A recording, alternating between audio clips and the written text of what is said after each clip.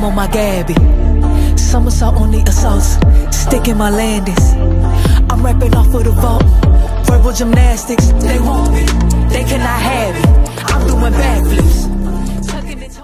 Woo! Woo!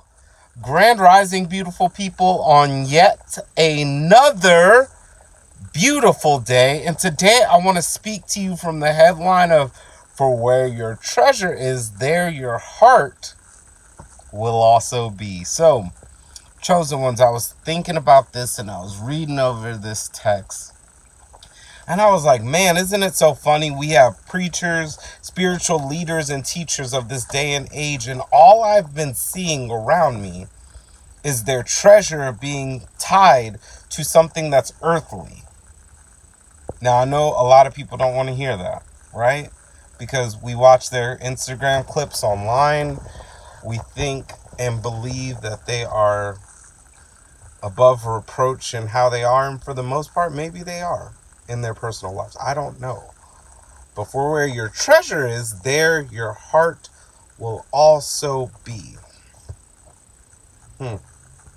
I'm going to sit on that for a second, chosen ones, because I really want us to think the kingdom of heaven is reversed from everything that the world does. The world says, prop yourself up, be this big image, be the man, be the woman out in front, doing the thing, taking charge, leading the people. But we all know that Jesus came in on a donkey. The world says, get them taxes right because guess what? The collection plate is moving. Get those donations in.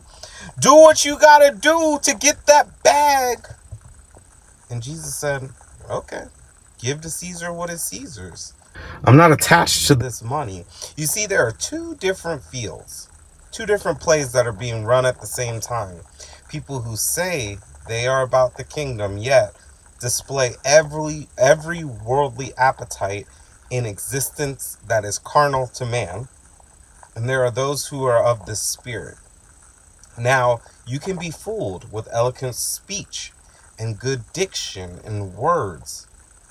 But more than that, look at people's fruit, chosen one, so that you are not fooled. Because a lot of us, and I've been fooled before, like I ain't gonna, I ain't gonna lie to you, but a lot of us don't study to show ourselves approved, and therefore we get tricked. It says, "My people are destroyed because lack of knowledge." If you're gonna follow someone, anyone, let them be a reputable name. Let them be someone who shines their light in the darkness. Let them be someone who doesn't just go after the carnal's world treasures, but that has treasures stored up in heaven that moth cannot eat and destroy. I want us to really, really start to process what that looks like and who we're following so that we do not get tricked. Because that's not good. Comment, like, subscribe. What is it that you are resonating with? Who have you been following? Who have you been talking to? Let me know in the comment section. I'll talk to you soon. Peace.